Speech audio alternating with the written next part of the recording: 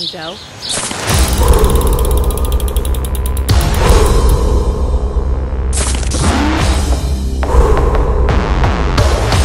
One step there and be champion one time. Any one of them, do, I can look your face, face to face of you guys. We gonna do it again and again and again